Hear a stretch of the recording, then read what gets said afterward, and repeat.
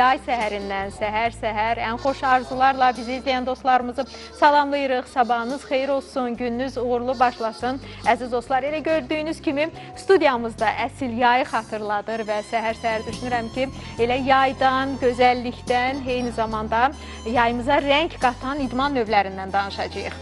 Sabahınız xeyir olsun, hörmət tamaşaçılar. Könül yəqin bilirsən bu nədir. Bəlkə də e, çox tamaşaçımız bilmir. Bilənlər əslində bizə sosial şəbəkələrdə də yaza bilər. Sizcə bu nədir? Amma verilişimizin gedişində biz həm bu, həm ümumiyyətlə studiyamızda gördüyünüz bu avadanlıqlar haqqında ətraflı danışacağıq. Belə bir gündə düşünürəm ki, havalar da istiləşir. Əsl e, rəhmkarımın da qeyd etdiyi kimi bu havalarda bunlardan istifadəni öyrənməyin daha sonra isə elə istifadə etməyə məncə elə vaxtıdır. Əziz dostlar, elə qeyd elədiyi kimi həmkarımın da əsil yay havasıdır. Eyni zamanda Bakı küləklər şəhəri olduğuna görə də kain gözəlliyini küləyin deyərdim ki, o sərin mehi əvəz edir və elə bu məqamda da Nurlan düşünürəm ki, səhər-səhər elə dostlarımızın bir çoxu nağılından da gözəl musiqilər, gözəl mahnılar keçir. Çünki bizə yayı xatırladan, küləyi xatırladan, ürəyimizdən, hisslərimizdən xəbər verən musiqilərimiz var ki, düşünürəm ki, səhər-səhər onları da dinləməyə, xüsusən Ramiz Milişli yaradıcılığına da nəzər salmağın yeri var və Ay Mirvari dalğalar musiqisi elə səhər ovqatımıza da ovqat qata bilər. Bəli, e, mən qeyd etmək istəyirəm, bunu hələlik qoyun bir kənara. Və verilişimizi elə öz axarı ilə mənə elə gəlir ki, davam etdirək. Əlbəttə ki, dostlarımız birazdan görməyəm. studiyamızda olan e, bu idman növünün e, qeyd etdiyim kimi əşyaları haqqında ətraflı məlumatları əldə edəcəklər. Bəli. Bəlkə də kənardan bir qədər qılınca oxşuyur, Bəli. amma tam başqa e, bir alətdir. Düşünürəm ki, biz bu barədə də danışacağıq. Bəli, əslində əziz dostlar, studiyamızda gördüyünüz bütün məqamlara aydınlıq gətirəcəyik. Əlbəttə ki, idmandan danışacağıq, idmanın, yayın, butandan idman növü haqqında ətraflı məlumatları sizə təqdim edəcəyik. Çünki yaydısa, yaya da məxsus, məxsus Nurlan idman növləri var ki, mütləq diqqətimizi çəkir və yay aylarında da olduqca aktualdır. Əziz dostlar, idmanın başqa növlərinə də əlbəttə ki, nəzər salacağıq. Xüsusən futboldan, dünən keçirilən oyunlardan da dostlarımızı xəbərdar edək. Çünki Çempionlar Liqasının ilk təsnifat mərhələsinə artıq start verildi. Dünən 10 oyun keçirildi. E, Dünən 5 oyun keçirildi. Ondan öncəki gündə biz elə dostlarımıza xəbər çatdırmışdıq. 10 qarşılaşma baş tutdu. Dünənki görüşlər haqqında Nurlan ətraflı məlumat verək. Çünki düşünürəm ki, bizim də e, komandalarımıza gələcəkdə rəqib olacaq klubların görüşləri baş tutdu. Bəli, dünən əslində e, mənim üçün ən maraqlı görüşlərdən biri Qazaxstanda keçirilirdi. Bəli. Burada Astana komandası e, Dinamo Tbilisini qəbul edirdi. Elə görüş 1-1 hesabı ilə yekunlaşdı. Bərabər səviyyəli bir qarşılaşma izlədi və yekunda tərəflər sülhə razılaşdılar. Düşünürəm ki, cavab oyununda Gürcüstanda tam fərqli nəticə görə bilərik. Bundan başqa Finlandiyanın Helsinki komandası Şimali İrlandiyanın Larne klubunu minimal hesabla öz meydanında məğlub etdi. Haken İsveçdə Walesin TNS komandasını 3-1 hesabı ilə məğlub etdi. Rumuniyada Farul və Şerif komandaları üzrə gəlirdi. Əslində bu komandaların oyununda çox qolun vurulmayacağı əvvəlcədən bilinirdi. Neftçinin sabiq baş məşqçisi Bordin hazırda Şerifdə işləyir və həmin görüşdə Moldova təmsilçisi 0-1 hesabı ilə uduzdu. Gözlənilməz nəticə isə Slovakiyada qeyd alındı. Çox yaxşı transferlər edən və yeni mövsümə böyük hədəflər qarşısına qoyan Slovan komandası öz meydanında Lüksemburqun Hesperanç komandası ilə 1-1 hesabla eç-eç etdi. Nurlan, əslində biz Çempionlar Liqasının bu ilkin mərhələsində olan adlara nəzər salanda, klublara nəzər salanda əlbəttə ki, hər biri ölkəsinin seçilən klublarıdır, amma biraz bəzi adlar bizə yad görünür. E, düşünürəm ki, bir çoxları bəlkə də ilk dəfədir bəzi klublar Çempionlar Liqasında oynamaq şansı əldə edirlər və e, dünən ən çox məsələn nəzər salanda fikirləşdim ki, gün o gün olsun ki, bizim klublardan da ən azı bir 4-5 klubu biz Çempionlar Liqasında iştirak edən klublar sırasında, siyahısında görək. Əlbəttə ki, bu bizim arzumuzdur və düşünürük ki, zamanla da həyata keçəcək. Əziz dostlar, dünən UEFA Konferans Liqasında da yeni mövsümə start verildi. Artıq yaydı, futbol görüşləri başa çatıb deyirik, ancaq Nurlan yenidən başlayır. Həm transferlər baxımından eyni zamanda da əlbəttə ki, Çempionlar Liqası və UEFA Konferans Liqası da yeni mövsümünə start verdi və iki görüş baş tutdu. Düşünürəm ki, bu görüşlər haqqında məlumatları dostlarımıza verə bilərsən. Bəli, həmin görüşlərdən biri Lüksemburqda Düdelanş və İrlandiyanın St. Patrick's komandaları arasında oldu və meydan sahibləri 2-1 hesabı ilə qələbə qazandı. Daha bir görüşdə isə Estoniyanın Payde klubu səfərdə Farer adalarında Torshavnla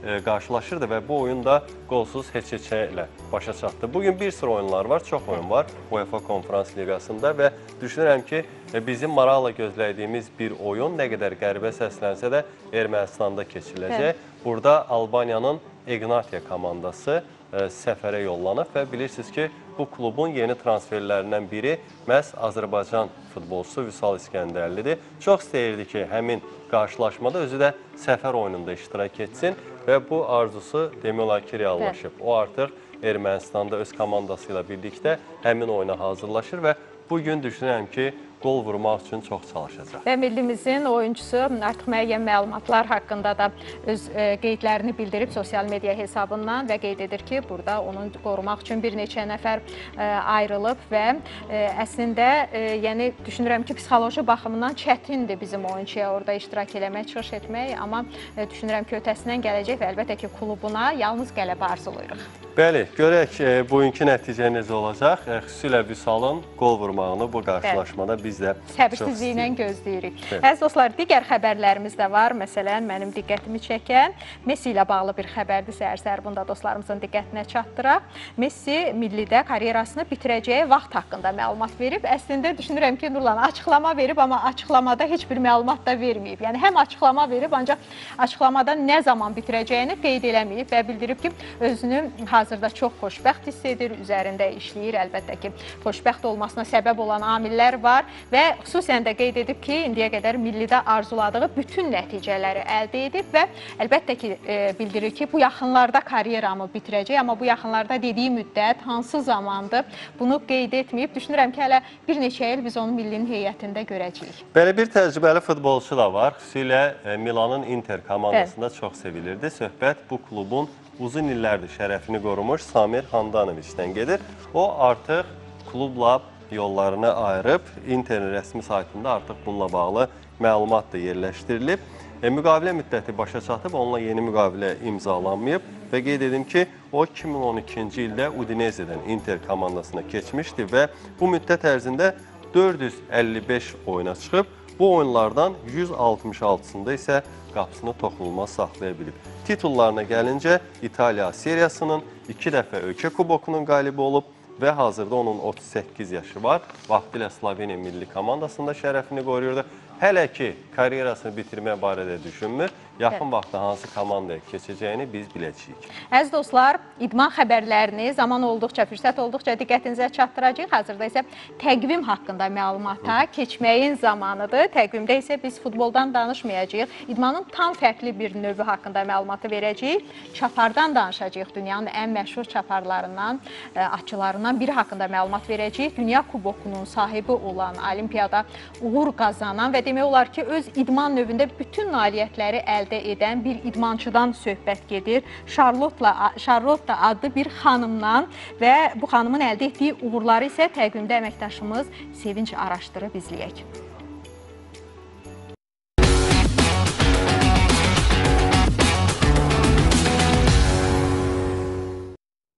Bizə yeni qoşulanları salamlayırıq. Sabahınız xeyir olsun, əziz dostlar. Gününüz uğurlu başlasın və bugün yenə idmandan danışırıq. İdmanın fərqli növlərini əhatə edirik. Əlbəttə ki, xəbərlərimiz də var. Xəbərlər içərisində Nurlan ən çox diqqətimi kəsb edən məlumatlardan biri Negreyra işi ilə bağlıdır. Sən də xatırlayırsansa, bundan əvvəl də biz proqramlarımızda bu məsələ ilə bağlı bir neçə dəfə məlumatları təqdim etmişdik. Əziz dostlar, buradakı e, məlumatın əsas e, məqsədi odur ki, artıq məhkəmə prosesi yekunlaşmağa başlayıb. Çünki e, Negreyra işi böyük bir məhkəmə prosesidir. Xüsusən Barselona klubuna qarşı və bu klubda baş verən hadisələrlə bağlıdır və məhkəmə prosesi hansı nəticə ilə yekunlaşıb düşünürəm ki, Nurlan sənin üçün də maraqlı olacaq. Çünki biz aramızda bunu əziz dostlar bir neçə dəfə müzakirə etmişdik.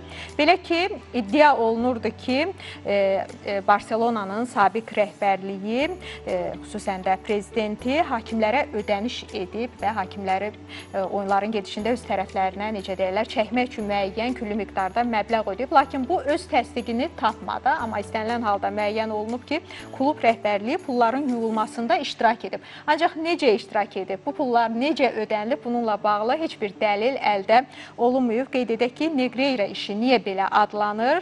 Hakimlər Komitəsinin keçmiş sədr müavinidir Negreira və onun razılığı ilə Barselona klubuna müəyyən miqdarda pul ödəndiyi, küllü miqdarda pul ödəndiyi haqqında məlumatlar daxil olmuşdu mediada. Bununla bağlı başlamışdı məhz bu məhkəmə prosesi. Görək, e, düşünürəm ki, tam yekunlaşmayıb. Hələ də yəni öz təsdiqini tapmayıb bu pullar ödənilib. Əgər ödənilibsə, hardan ödənilib, necə ödənilib? E, Bu məsələ ilə bağlı Barselona klubunun heyəti bir müddət elə sözün həqiqi mənasında klubun və onun işçilərinin də başı ağrıyacaq. Bəli, son vaxtlar Yaman bu pul məsələlərinə görə Bəli. istər Avropada, hətta Əl Nəsir klubunda da biz bilirik ki, artıq onlara transfer qadağası qoyulub. Yəni bundan sonra onlar yeni futbolçu transfer edə bilməyəcəklər. E, FIFA Əhməd Musanın transferi üçün yaranan borca görə Əl Nəsir klubuna transfer qadağası qoydu. Qeyd edim ki, onun transferinə görə Lesterə borclu olduqları bonusları ödəməyiblər və e, futbolçu Səudiyyə klubunda oynayarkən onun e, səviyyəsi ilə bağlı 460 min avro mükafat ödənilməlidir və hələ ki Əl Nəsir bunu ödəməyib və buna görə də FIFA bu kluba transfer qadağası qoyub. Nurlan, bugün təqvimdə çox maraqlı hadisələr var. Onların biri haqqında xüsusi qeyd etmək istəyirdim. Bugün 1908-ci ilin məhz bu günü Londonda 4-cü Olimpiya, yay Olimpiya oyunlarının başladığı tarixdir. Bu Olimpiya oyunları müəyyən məqamları ilə tarixə düşüb. Bunlardan biri 22 ölkənin iştirakıdır. 2000-dən çox idmançının olmasıdır. Eyni zamanda 110 dəst medal uğrunda idmançıların mübarizə aparmasıdır. Digər bir maraqlı məqam isə ə, Olimpiyadanın keçirildiyi müddətdir. İyulun 13-də başlayan Olimpiyada səncə neçə müddət davam etsə yaxşıdır?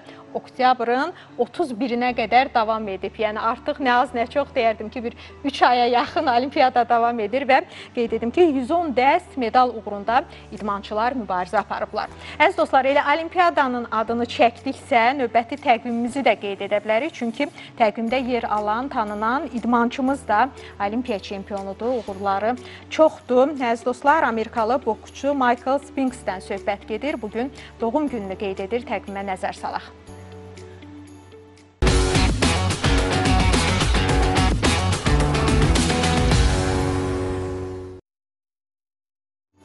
Dünyanın tanınan, seçilən idmançılardan keçək. Nurlan, ölkəmizin seçilən idmançılarına bunlardan biri də əlbəttə ki, məşqçimiz Qurban Qurbanovdur. Qurban Qurbanov həm idmançı kimi zamanında seçilib, eyni zamanda hazırda da məşqçi kimi dünyanın ən yaxşılarından biridir. Əlbəttə ki, bunu təkcə biz demirik, keçirilən sorğular və əldə olunan nəticələr də deyir. Belə ki, Qurban Qurbanov dünyanın 500 ən yaxşı baş məşqçisinin siyahısında yer alıb. Əslində bu təzə xəbər deyil. Bundan əvvəl də e, bu məşqçilər siyahısında yer almışdı. Təzə olanı odur ki, Qurban Qurbanov beynəlxalq reytinqdə artıq 5 pillə irəliləyib. Əziz dostlar, biraz nəticəyə də nəzər salaq. Belə ki, e, Qarabağ Futbol Klubunun baş məşqçisi 199-cu pillədə hazırda qərarlaşıb. 1595 xal toplayaraq və ötən siyahı ilə müqayisədə isə 5 pillə irəliləyib. Qeyd edək ki, siyahıya Pep Guardiola rəhbərlik edir və düşünürəm ki, Qurban Qurbanov bu mövsümdə də yenə uğurlu Qarabağı uğurla irəliyə götürəcək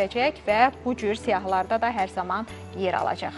Bayaq pullardan danışırdıq, indi Qarabağdan danışdıq. Yeri gəlmişkən e, onları birləşdirən bir məlumat da sizinlə paylaşmaq istəyirəm. Belə, e, belə ki, UEFA ötən mövsümdə UEFA Konferans Liqasının play-offunda iştirak etdiyinə görə Qarabağa e, nəhayət ödənişləri etdi. Təxminən 28 min manat, tam dəqiqdə isə 27 tam e, 943 manat avro daha doğrusu avro e, maliyyə vəsaiti ayırıb, məbləğ Milli Assosiasiyanın vasitəçiliyi ilə Ağdam təmsilçisinin artıq hesabına köçürülür. Əziz dostlar, Ancelotti də pul ödəyəcək, amma onun ödəmə səbəbi tam fərqlidir. Belə ki, məhkəmə qarşısında əgər məhkəmənin qərarı olarsa, e, 400 min avro vergi ödəməli olacaq və qeyd edək ki, o müəyyən fırıldaqçılıqda, qalmaqallarda ittiham olunur Real Madrid Real Madrid futbol klubunun və dünyanın ən seçilən, tanınan mütəxəssislərindən biri. Düşünürəm ki, Ancelotti haqqında bu ilk e, hadisə deyil, Nurlan. Bundan əvvəl də biz mediada qeyd e, etmişdik müəyyən bu cür e, sensasiya adlandıracağımız, qal- qalmaqal adlandıracağımız məhkəmə prosesləri baş vermişdi. Ümumiyyətlə Avropa klublarında bu mövsüm bu cür məsələlər çox gündəmə gəldi. E, Düşünürəm ki, bu da o rəqabətdən və yaxud önə keçmək istəyindən doğan amillərdir. Xüsusilə İspaniyada biz tez-tez belə e, xəbərlərə rast gəlirik. Çünki vergi yüksəkdir və yüksək ödənişli xüsusilə idmançılar yekunda belə problemlərlə üzləşirlər. Əziz dostlar, hazırda isə maraqlı bir sujeti təqdim edəcəyik. E, Əslində dünyada fərqli yarışlar keçirilir. Məsələn, Türkiyə bunların sırasında xüsusən seçilən ölkələrdəndir. Məsələn, Türkiyədə e, mənim e, arada izlədiyim 40 pınar yağlı güləş yarışları var ki, burada güləşən idmançıları bahadırlar adlandırırlar və bu yarışları özəl edən məqam isə zeytun yağı ilə idmançıların, o necə deyirlər, yağlanması və bu şəkildə mübarizə aparmasıdır. Türkiyədə başqa yarışlar da təşkil olunur. Xüsusən yay aylarında əməkdaşımız araşdırıb izləyək.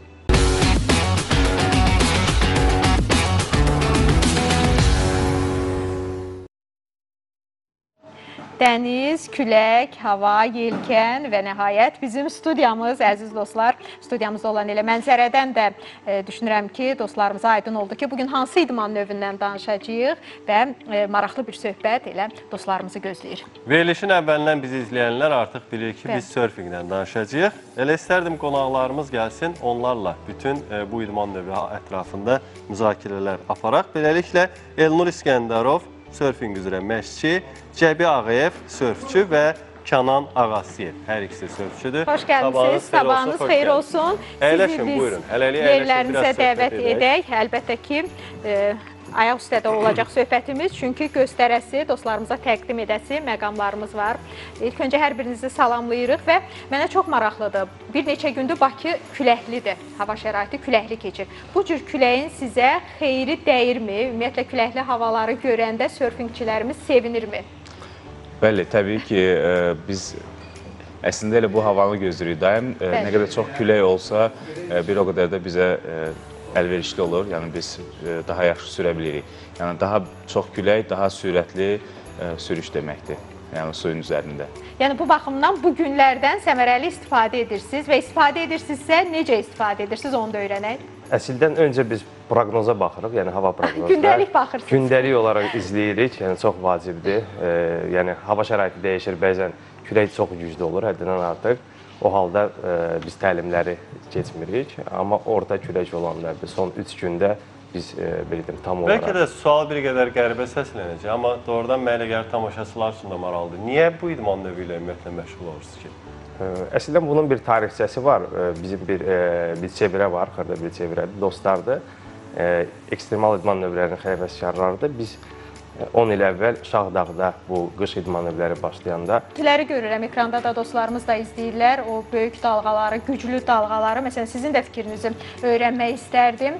E, və e, Bakıda çəkilən görüntüləri də hazırda izləyirik. Ümumiyyətlə dalğalarla mübarizə aparmaq sevdası sizdə nə vaxtdan yarandı? Mən artıq 2017-ci ildən indiyənə qədər windsurfinglə məşğulam. Çox dalğa deməzdim.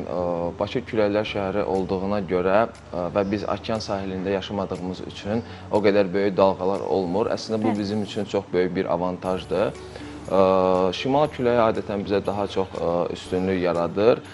Qurudan sahilə olduğuna görə dəniz əslində düz olur. Bizə çox böyük dalğalara ehtiyac yoxdur. O freestyle sayılır. Windsurfingin bir neçə növü vardı. Foil, klassik, freestyle. O siz az öncə dalğalarda gördüyünüz freestyle tosu növünə aiddir.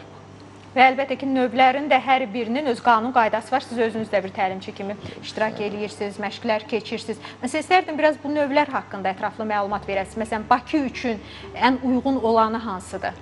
Bakı üçün ən uyğun olanı windsurfingdir. Ə, və kitesurfing var. Kitesurfing windsurfingdən ə, fərqli olaraq ə, paraşüt kimi bir yelkəni ə, olur deyə. İndi gördüyümüz olur. nədir hal-hazırda kadrlarda? O həm kitesurfingdir, həm windsurfingdir. O kadrda İkisi birində bu- ola hə. bilir, yəni bu necə olur? Baxın, fərqli ə, idman növləridir, fərqli sahələrdir. Birində bir ə, paraşüt dediyi əslən kayt adlanır, amma ə, bizim yəni normal qıraqdan baxanda paraşüt kimi onu qələmə alırıq. O havada olur və 20 metr ipi olur. Baxın bu qara rəngində Ha, gördüyümüz bu ə, kaytdır və ə, həmin kitesurferin altında bu borddur. Ə, yəni studiyada hal-hazırda sol tərəfdə bord var biz bizdən. O borddan istifadə edirik. Bu ə, tamamilə fərqli idman növləridir. Bizdə isə yelkənin bordunun birləşməsidir. Burada bordla kayıtdır və bizdə Bəli. yelkənlə borddur. Məsələn, o paraşütün əsas missiyası nədən ibarətdir? Onu havada saxlayır və ə, müəyyən bir mexanizmlər e, yönəldir özünü sola, sağa küləyin istiqamətinə asılı olaraq hərəkət etmək üçün. Yəni hərəkət üçün o lazımdır sizə. Paraşütsüz hərəkət Bəzən tullanmaq da olur ona 10 metr, hətta belə deyim, e, rekorda 100 metrə kimi göyə e, o- qayıtla güclü küləkdə qalxanlar var. Yəni bunu- Məsələn, Bakının küləyinə dözmə e, yükü nə qədərdir? Yəni o paraşütün. Çünki Ə, e, onlar da çox güclü də. dalğalar və külək əsir. Əslində nə qədər çox külək olsa bir o qədər yaxşıdır. Bizim e, bizim kluba hər gələn e, insana biz yəni deyirik ki, bu bizim məqsədimiz e, küləyi idarə etməkdir. Bəli. Yəni istənilən küləkdə, e, istənilən güclü küləkdə bunu e, sürməliyik və sürürük. Buna da uyğun avadanlıqlar var. Məsəl üçün daha güclü külək üçün daha kiçik yelkənlər olur. E, Daha e, az külək olduqda biz daha böyük yelkənlər götürürük. Yəni o şərait, hava şəraitinə uyğun avadanlıq da dəyişir. Yəni kifayət qədər avadanlıq var. Bəli, kifayət Və qədər səhv avadanlıq etmirəmsə bir klub kimi, Windsurfing Baku klubu Bəli. kimi fəaliyyət göstərirsiniz. Hardadır bu klub? Ümumiyyətlə gəlib necə müraciət edirlər? Daha çox həvəskar şəklində yoxsa peşəkar olmaq istəyənlər də var? Baxın, biz yerləşirik Şıxovda, Ramadatinin e, ərazisində. Ora yaxınlaşıb ora bizə müraciət edə bilərlər və yaxud da ki, sosial şəbəkələrdən e, bizi e, tapıb, yəni bizi izləyib oradan müraciət edə Bu bilərlər. ancaq yay, yayda olur da. Baxın, biz aprel ayından oktyabra qədər, yəni Fəaliyyət o göstərirsiniz. fəaliyyət göstəririk, bəli. Oktyabrda artıq sezonu bitiririk və noyabrda qış üçün hazırlıqlara başlayırıq ki, qışda da bizim klubumuz var. Bəli, o o belə deyək, o klubla məşğul olmağa başlayırıq. Fəaliyyət göstərir. Məsələn, Elnur müəllim, kimlər müraciət edir və yaxud kimlər müraciət edə bilər? Əslində ə, 8 yaşdan yuxarı ə, hər kəs müraciət edə bilər. Ə, Bizim tələbələrin arasında hər yaş kateqoriyası var. Uşaqlardan tutmuş ə, 50 yaşına qədər hər bir belə deyək də insan gəlib bu idman növü ilə Yəni 10 məşğul yaşlı uşaq bunu idarə edə bilir. Bəli, bəli. Rahatlıqla. Və elə idarə eləməkdən idarə danışırıqsa, Nurlan, bəlkə elə e, peşəkar burada mütəxəssislərimizdir, məşqçimizdir, sörfinqçilərimizdir. Bəlkə göstərək biraz tamaşaçılara təqdim edək, məsələn, necə idarə etmək olar, hansı məqamlara mütləq fikir verməliyik. Buyurun, zəhmət Bəli, olmasa. simulyator var. Müəllim. məncə götürüb göstərmək olar. Bir də onu Bəli. qeyd etmək istəyirəm ki, Yəni bu təzədən söküləcək və dostlarımıza da təqdim edəcəyik, necə istifadə Məncə sökməyə olunur, ehtiyac olmayacaq. Sadəcə biz studiyanın ortasında Bəli. bunu çəkək. Bu Zəhmət ə, olmasa, bəli, yerləşdirək. Biraz önə çəkək ki, tamaşaçılarımız da görsün. Bunun hündürlüyü, uzunluğu nə qədərdir Ə, təxminən? Bu ə, yelkənlər kvadrat metrlə ölçülür. Yəni yelkənin sahəsi nəzərdə tutulur burada. Gördüyümüz yelkən 3,6 kvadrat metr sahəsi var. Bu beginner, yəni başlanğıc təlim götürən insanlara daha uyğundur. Yəni siz fərz edin ki, bu balaca yelkən sayılır. Məsələn, biz bunu mütləq tutmalıyıq da, yəni e, dostlar olduğu- dayanmır. Yəni bunu bəs orada idarə eləmək nə qədər əslində bir böyük bir peşəkarlıq tələb edir. Ə, Baxın, təlimin bir neçə hissəsi var. Bəli. Ə, İlk başlayan adam bir 15 dəqiqə nəzəriyyə, yəni anlatırıq sörfinqin planlaması Sən əsas haqqında. nələri öyrədirsiniz, onu da E, Təhlükəsizlik qaydaları çox vacibdir. Suda e, özünü belə deyim də müəyyən qədər e, aparmaq qaydaları, e, bu təhlükəsizlik jiletlərindən istifadə etmək, müəyyən hadisələr baş verəndə necə e, yelkəni e, götürmək, geri qayıtmaq e, özü. Baxın, məni bunun üzərində artıq dənizliyəm, suyun üzərindəyəm. Nəyə diqqət yetirməliyəm? Bu mənə niyə lazımdır? İlk növbədə necə idarə etməliyəm? Ə, Baxın, birinci küləyin istiqaməti müəyyən olunmalıdır. Küləyin istiqaməti necə müəyyən olunur? Biz ə, quruda gəldiyimiz halda onu hiss edirik və ə, siz onu buraxsaz mən sizə təxmini göstərərəm. Yəni külək arxadan həmişə əsməlidir. Arxadan əsdiyi anda iki tərəfdən külək çox vurduğu üzr istəyirəm, üçün biraz önə çəkək, çünki bizim işıqlarımıza da çox hündür olduğu üçün mane olmasın studiyamızın işıqlarına. Əziz dostlar, çox sağ olun və artıq idarə edə bilərik, Tamam, göstərə biraz bilərik. Ehtiyatla. Bəli, Tamam. buyurun. Bəli, külək ə, mənim belimdən gəldiyi halda yelkən avtomatik olaraq düzəlməyə başlayır.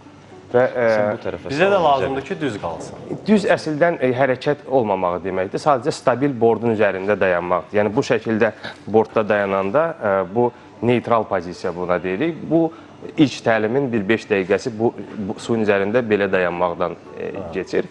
Ondan sonra artıq e, bir müddətdən sonra e, təlimçi suya girəndə, yəni e, tələbə suya girəndə e, bunu fərqli bir formatda e, küləyə istiqamətdə açmağa başlayır və külək bura girdiyi anda sizi qabağa doğru aparmağa başlayır. Təbii ki, bu sözdə asan görsənir, amma 1-2 saat təlimə ehtiyac var ki, bunu ə, qavranılsın. Yəni mən- hər kəs müəllim- e, rahat qavraya bilir. Siz uşaqlarla işləyirsiniz təlimçi kimi. Yəni hər kəs bunu tez qavraya bilir. Yoxsa Fərqlidir, bəzən olur fərqlidir. Çünki e, birinci su, su, su ilə bir dostluq lazımdır, belə deyim də. Bəli, suyu E, sevmək lazımdır. Sevmək də lazımdır, üzgüçülüyü müəyyən qədər bacarmaq Bəli. çox vacibdir.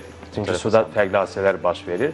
E, jilet Skate verir, sürməyə məsələn. e, müəyyən qədər sizin e, istiqamətiniz üçün okeydir, amma e, skeytdə yer bərk olur, burada sudur. Bəli. Yəni yenə də bir müəyyən saatda təlimi var. Ortalama bəli. 4-5 saat ehtiyac var ki, təlim götür götürəsiniz, tələbə götürsün ki, müəyyən qədər təcrübə yaranıb özünü bir beginner, başlanğıc server kimi. Bir də hər zaman Gələm. məsələn bu cür mən yarışları, görüntüləri izləyəndə diqqətimi çəkir duruş qaydası, məsələn idmançıların duruş qaydası. Buna mütləq düşünürəm ki, e, əməl edirsiniz. Ümumiyyətlə necə durmalıdılar? Məsələn bəzi e, yerlərdə görürük müəyyən o dizləri e, əyri şəkildə əyirlər, dizləri qoyurlar. Bəzənsə tam şux şəkildə biz idmançıların hərəkət etdiyini görürük. Bunun da bir düşünürəm ki, qayda qanunu var. Kim izahını verə bilər? Burada belə deyib, e, biraz e, dəyişir, e, yəni avadanlığa görə də. No, normalda yəni bizim duruş qaydamız budur. Yəni Ha. bu şəkildə dururuq və belə götürürük. Sadəcə olaraq küləyin əsməsindən ə, asılı olaraq biz özümüz daha da başlayırıq arxaya əyməyə. Yəni bu pozisiya biraz dəyişə bilər. Yəni burada belə Yəni bu şəkildə. əl göstərəndə bunu nəzərdə tutur. Bəli. Külək əsən tərəfə əyilməli, yoxsa əksinə? Çox bordun üstünə çıxmaq istəmirəm, qırıla bilər. Əslində bu su çıxsın məncə. Yəni göstərdiyimiz budur. Arxa ayaq biraz əyilir. Çünki düz dayandığımızda yelkənə daha güc güc düşür, yenə də də ə, güc düşür və siz qabağa gedə bilərsiniz. Onun üçün biraz aşağı dayanmaq lazımdır ki, yelkəni tutmaq olsun. Bu təlimin ilk hissəsidir və bu maçda deyilir buna.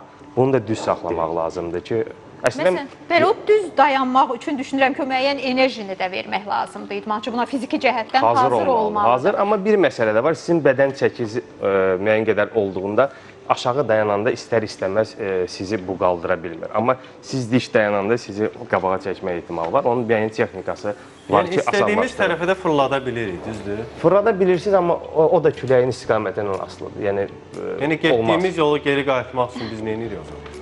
Ziqzaqvari hərəkətlərlə qayıdırıq. Yəni bir nöqtədən çıxıb həmin nöqtəyə qayıtmaq ə, əslində hər küləkdə alınmır. Yəni orada fərqli küləklər olur da. Ə, Əgər ə, sahildən Yəni əsirsə, bunu da özümüz Yox, sahildən əsirsə, sahildən əsirsə bizim trayektoriyamız var. Ziqzaqvari trayektoriya ilə qayıdırıq. Yəni qayıtmaq mümkündür. Məsələn, qoruyucu vasitələr də var Nurlan. Təhlükə ilə əlbəttə ki, heç kimə üzləşməyə arzu eləmirik, amma o qoruyucu vasitələri də dostlarımıza təqdim edək. Bəli, təbii ki, bizim geyimlər də əziz dostlar. bütün tələbələrə ə, Bəli. xilas edici jiletlər təqdim olunur. Jiletlər Yəni bu istənilən, yəni hər çəkiyə uyğun var. Yəni sizin suda batmaq ehtimalınız yoxdur ümumiyyətcə.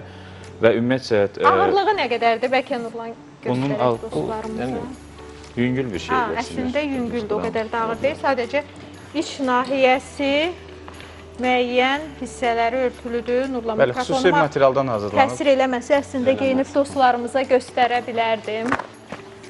Bilmirəm əziz dostlar, yaraşdı, yaraşmadı, ancaq özümü əsl sörfçü kimi hiss elədim. Bəlkə dənizdə bunu sınaq, əsası təhlükəsizliyi. təhlükəsizliyi qoruyub və dənizdə də sınamaq olar. Əlavə etmək istəyirəm ki, təhlükəsizliyi qorumaq üçün bizdə s- safety boat deyirik. Yəni bu Xilasedici qayığımız da var. Qayığımız var. Həmişə sahildə ə, belə deyim, tələbələri Nəzarət edirik.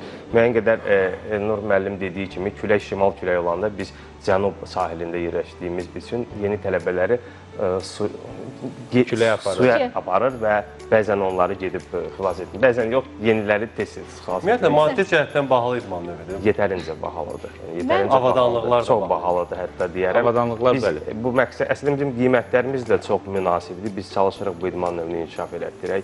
E, çünki bir neçə il əvvəl bizdən fərqli bir məktəb mövcud idi.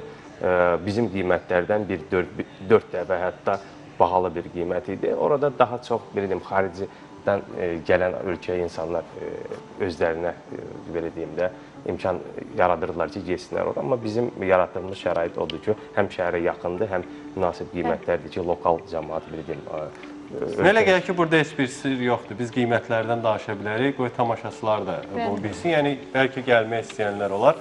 E, məsələn, nə qədər müddətdə öyrənə bilər və bunun üçün nə qədər vəsaiti gedəcək? Baxın, bizim e, ilk dərs bir e, bir treninq, bir dərsimiz saat yarım belə deyək davam edir və bunun qiyməti 60 manatdır. Bura siz daxildir təlimçi, avadanlıq, xilas edici avadanlıq, suya əgər sizi külək aparıbsa qaytarılmaq, bütün hər şey bura daxildir. Məşqimiz 3 hissədən ibarət olur. İlk hissəsi avadanlıqla tanışlıqdır, ikinci hissəsi quruda, simulyatorda burada olduğu kimi hər şeyi göstəririk. Bu yarım saatdır və 1 saat biz suda sizi örgədirik. Məşq Yəni, edirsiniz. bəli.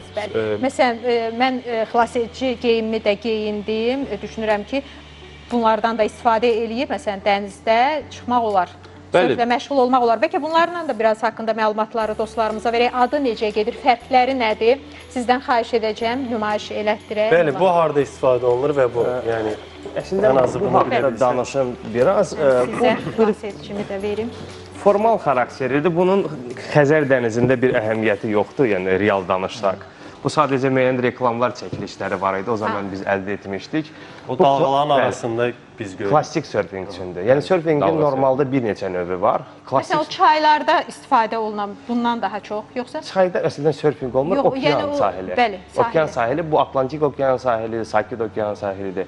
Portuqaliya mı deyim, e, yəni Bali mi deyim və yaxud Kaliforniya hissədə. Çünki dalğalar orada Dalğa 4-5 ilə. min kilometrdən başlayır və sahilə doğru gəlir və dalğalar arasında 12, 15, bəzən 20 metr kimi məsafə olur ki, siz onu tutub bu bordun üzərində uzanaraq e, sahilə doğru gəlirsiniz. Amma bizdə Xəzər dənizi adlanmasına baxmayaraq, yəni hər kəs coğrafiya dərsindən də məktəbdən bilir ki, böyük bir göldür. göldür bəli. Və sonda o e, məsafəli dalğalar yoxdur bizdə. Amma külək var və küləkdən Bəli. tam istifadə edirik. İstərdim bu taxta e, barəsində, lövhə barəsində də məlumatı verək. E, məsələn, bu həm rəngi ilə fərqlənir, eyni zamanda e, ayaq üçündə Ayaqqabısı xüsusi ayaqqabısı da üstündədir. bəli. Dostlarımıza göstərək. Baxın, bu bayaq ə, ver, göstərdiyiniz süjetdə də orada ə, paraşutlu olan kitesurf deyilən Bəli. kaytın elə bir ki bordudur. Yəni ə, taxtasıdır belə deyək.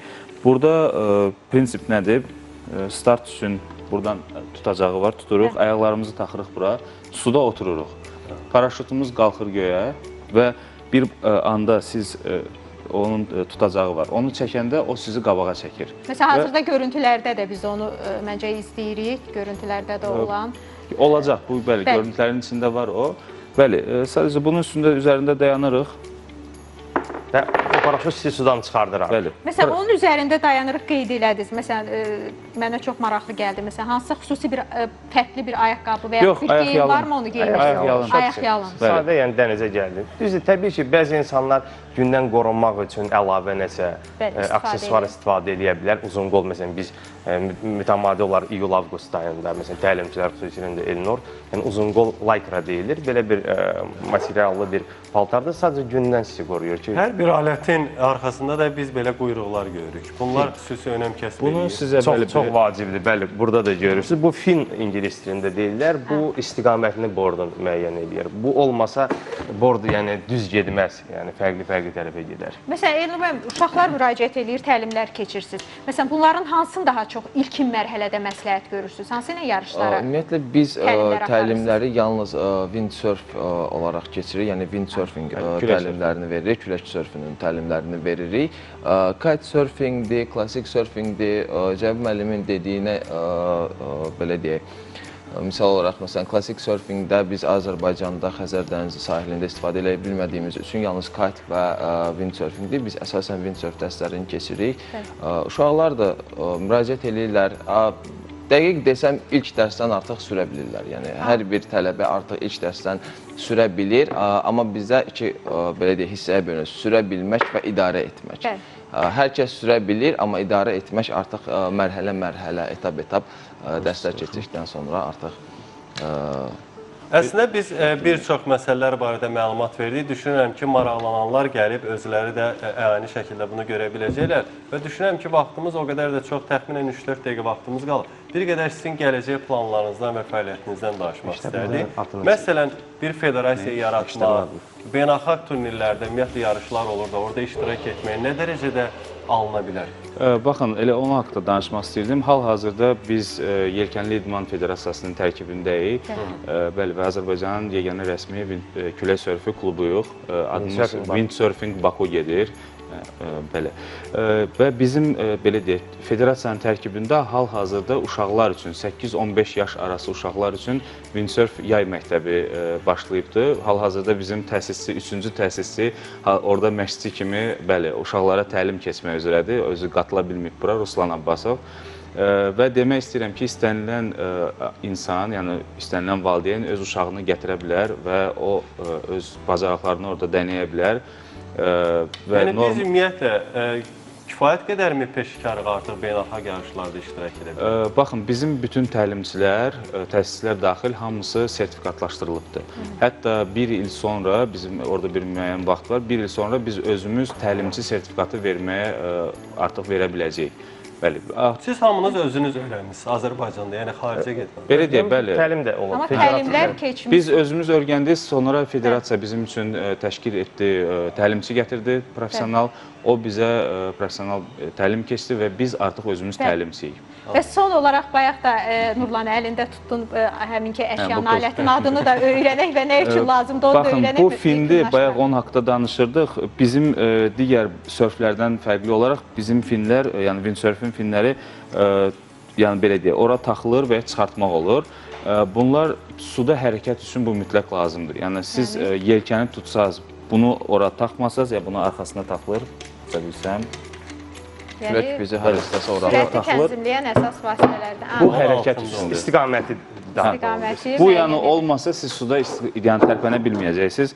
Yəni bunsuz mümkün Yəni deyil. yelkəni bağlayanda düz getmək əvəzinə istiqaməti. Əslində verdiyiniz məlumatlar o qədər maraqlıdır ki, əziz dostlar, sağollaşmaq istəmirik, amma istənilən halda efirimizin də qaydaları, qanunları və, və sağollaşmağa hazırda sizə təşəkkür etməyə məcbur uğurlar arzu edirik yay aylarında.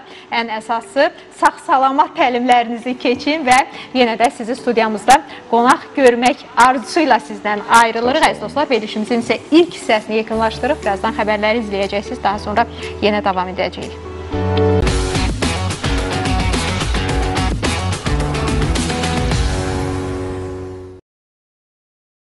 Günəşli, gözəl bir yay səhərindən verilişimizin ikinci hissəsindən hazırda bizi izləyən dostlarımızı salamlayırıq. Əziz tamaşaçılarımız, hər birinizə uğurlu gün arzu edirik, gözəl başlanğıclar arzu edirik. Əlbəttə ki, günə yaxşı başlamaq üçün nə etmək lazımdır? Pozitiv olmaq lazımdır, gözəl fikirləşmək lazımdır. Eyni zamanda səhər-səhər də elə maraqlı xəbərlər, ürəyimizi açan, sevinəcəyimiz xəbərləri eşitmək də Nurlan düşünürəm ki, mütləqdir. Əlbəttə ki, xəbərlərimiz içərisində sevindiyimiz və sevinərək dostlarımıza təqdim etdiyimiz xəbərlər var. Eyni zamanda düşünürəm ki, biraz da idman mediasında yer alan fərqli sahələri əhatə edən, ürəyimizcə olan, bəzənsə olmayan da məlumatlar var. Nurlan, indi hansını təqdim edəcəyik?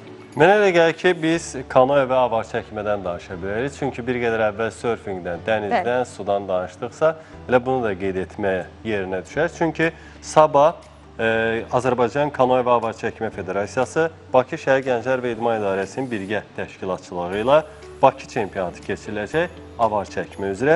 Bulvar ərazisində Milan Expo-nun qarşısında keçiriləcək çempionatda paytaxtla yanaşı Mingəçevirdən olan 70-ə yaxın yeniyetmə və gənc avar çəkən yarışacaq. İdmançılar avar çəkmənin akademik, kayak və kanoe növlərində mübarizə aparacaqlar. Əslində düşünürəm ki, xəbəri elə gözəl edən məqamlardan biri də məhz yerli idmançıların həm də say etibarı ilə çoxluq təşkil etməsidir. Düşünürəm ki, bu idman növünün inkişafı üçün də gözəl təməllər qoyulub. Əziz dostlar, diqqətimizi çəkən, marağımızı kəsb edən daha bir xəbər isə düşünürəm ki, xüsusən Qarabağ azarkeşlərini son dövrlər çox maraqlandırır. Ən çox müzakirə olunan mövzulardan biridir. Kevin Medina Qarabağdan Rizə Spora gedəcəkmi, getməyəcəkmi? Əziz dostlar, son yayılan xəbərlərə inansaq, Qarabağ Medinanı satmaqdan imtina edib. Əslində dünən mediada yayılan xəbərlərdə artıq gedəcəyi və bir neçə saat ərzində hətta müqavilə imzalacağı da deyilirdi. Lakin e, xəbəri inandırıcı edən əsas məqamlardan biri isə Türkiyə təmsilçisinin idarə heyətinin üzvü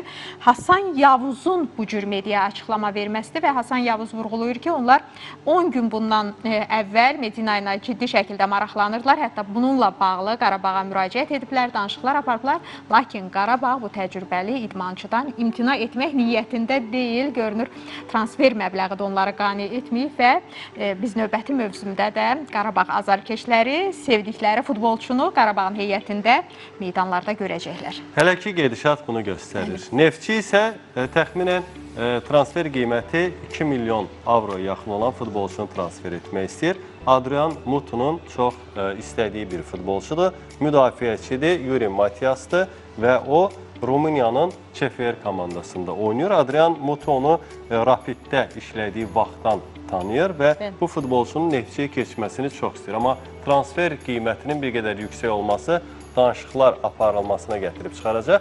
Bəlkə də qiyməti bir qədər endirib Neftçi həmin futbolçunu heyətinə qata bilər. Və onu da qeyd edək ki, elə Mutu e, Rapiddə işlədiyi müddətdə də bu futbolçunu 2 dəfə transfer etmək istəyib, lakin görünür elə məbləğ yüksək olduğundan klubdan icazə ala bilməyib. Nə deyək, Neftçimiz üçün uğurlu olsun. Əsas olan odur ki, Neftçinin heyəti güclənsin və biz növbəti mövsümlərdə Neftçinin həm çempionatda, eləcə də Avropa liqalarında uğurlu çıxışlarını izləyək. Əziz dostlar, Avropa çempionatlarında əlbəttə ki, uğurlu çıxış edən klublar var. Onlar haqqında da məlumatları birazdan təqdim edəcəyik. Hazırda isə e, maraqlı mövzuları əhatə edən sujetimiz var. Nədən danışacağıq bu gün Nurlan? Mənə gəlir ki, idman filmlərindən danışsaq çox yaxşı olar. Bəli. Çünki yaydır, çoxu istirahət edir və bu günlərdə müəyyən vaxtlarda filmlərə də baxmaq istəyir. İdmansevərlər e, idman filmləri seçib baxa bilərlər və bizim əməkdaşlarımız da bununla bağlı ən azı sizə kömək etmək üçün bir süjet hazırlayıblar. İstərdim rejissorlarımız təqdim etsin, baxaq.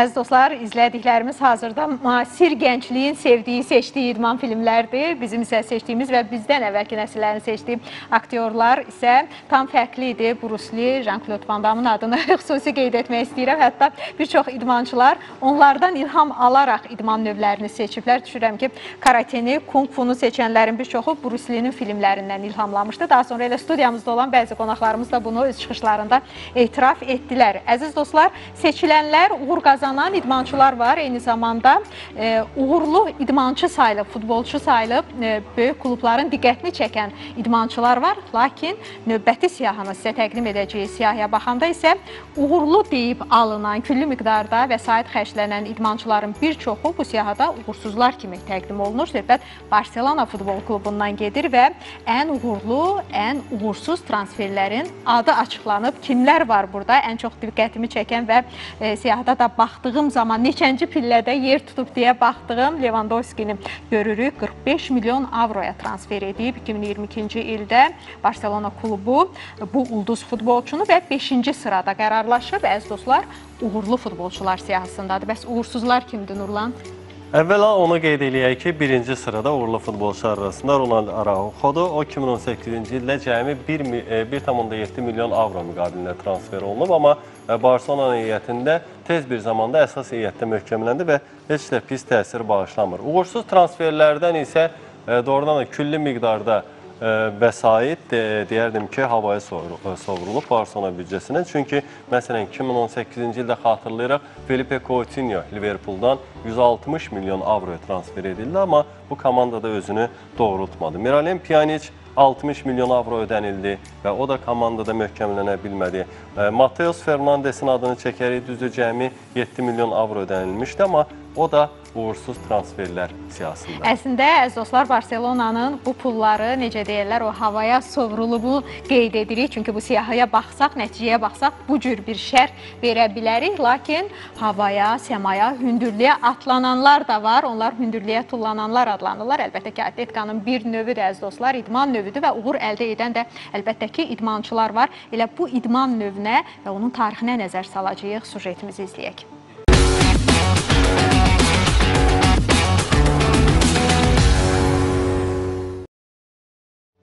Maraqlı bir süjet izlədik, doğrudan da zarafat deyil. 3 metrə yaxın, 2 metrdən bir qədər e, uzun məsafə, hündür, hündürə tullanmaq o qədər də asan məsələ deyil. Düşünürəm ki, top oynamaq da, futbol oynamaq da o qədər asan məsələ deyil və bu sahədə də uğur əldə etmək üçün mütləq peşəkarlıq, təcrübə, eyni zamanda istedad lazımdır. Top deyəndə mənə elə gəlir ki, ilk növbədə bizdə çox yayılıb, əslində uşaqlar arasında neftçi topu deyirlər, xatırlayırsınız, ağ-qara top, amma e, bu topun da tarixi var və digər topların da təbii ki, hərəsinin öz tarixçəsi var. Elə bizim bununla bağlı süjetimiz də var. İstərdim ona da baxaq. Əziz dostlar, biz də bu gün idman deyib keçmədik. Çalışdıq ki, ən maraqlısını, diqqətimizi kəsb edənləri araşdıraq, tapaq, toplayaq və, bu cür sujetlər nəticəsində sujetlərlə sizin diqqətinizə çatdıraq. Ümid edirik ki, elə təqdim etdiklərimiz, hazırladıqlarımız, studiyamızda olan qonaqlar da bu gün zövqünüzü oxşadı, ürəyinici oldu. Bizim üçün ayrılan vaxt artıq yekunlaşır, hörmətli tamaşaçılar. Yenidən görüşmək ümidi ilə sağ olun.